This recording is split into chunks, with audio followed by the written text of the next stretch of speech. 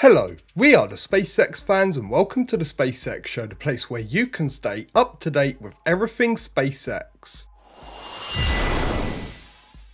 Kicking off today's video, there was yet another Falcon 9 launch with the Starlink 4-16 mission. One, ignition, lift off for Starlink. Go Falcon, go Starlink 416. The booster which launched this mission, B-1062, landed successfully for the sixth time on the drone ship Just Read the Instructions. Stage 2 is in terminal guidance.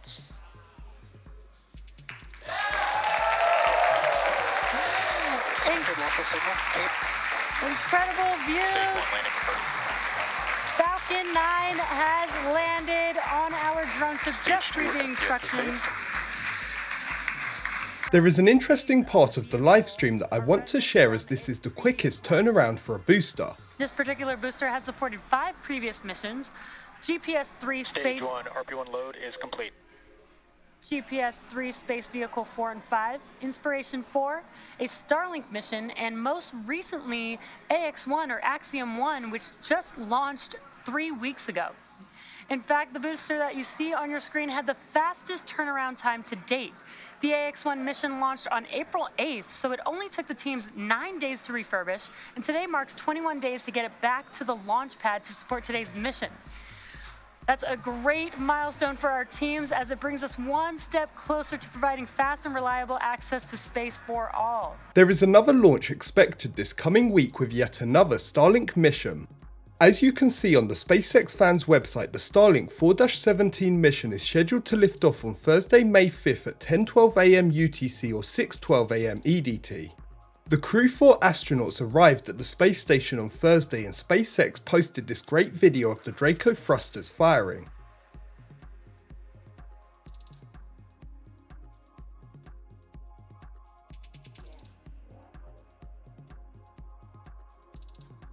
Eric Berger posted a tweet saying Benji Reed says he thinks SpaceX can support about 6 Crew Dragon flights a year, so 50% more than it currently does. Likely break down 2 NASA flights until Starliner becomes operational, 2 Axiom or ISS private astronaut missions, 2 free flyers, Polaris, etc.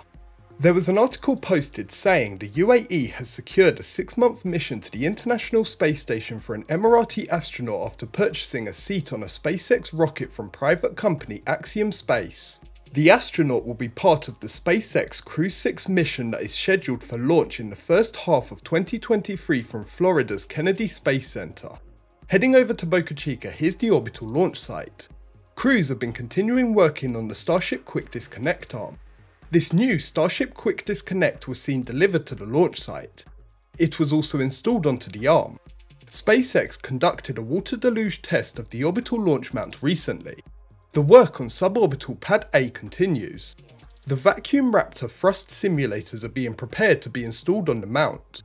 The work on the Mega Bay has been continuing in the production yard. Work continues with the construction of Star Factory as more beams have been added. The work on the mystery box is continuing by the ground fabrication building. Eric Berger posted some interesting tweets from somebody at SpaceX regarding Starship.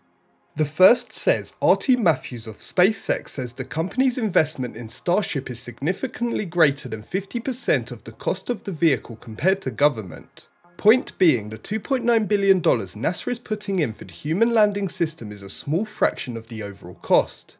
Next, he posted NASA engineer asks what they should do to help industry. Matthews plan for capabilities of Starship 100 metric tons, essentially infinite volume for payload and order of magnitude of lower costs. What does your system look like when you have no mass or volume constraints? Finally, more from Matthews that's 4 fire trucks. It's 100 moon rovers. It's the mass of 11 elephants. NASA specified a high level need, but industry is taking away one of your biggest constraints, mass. I think that we all need to be thinking bigger and better. There's some unfortunate news with the environmental assessment being delayed once again. As you can see on the FAA website for environmental assessment information, it says the FAA plans to release the final PEA on May 31st, 2022. Eric Berger posted a tweet about the delay where the FAA gave a reason for the delay. He posted in an email sent to reporters just now the FAA adds the following rationale for the delay. SpaceX made multiple changes to its application that requires additional FAA analysis.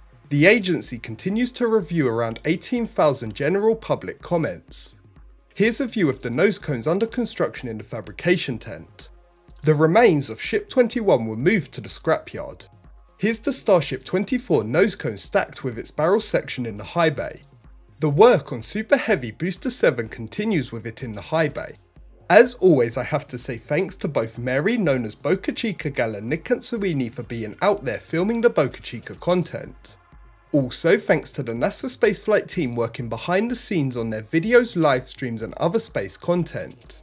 That's it for this episode of the SpaceX Show. I hope you enjoyed the video. If you did, make sure to hit the like button and leave a comment down below.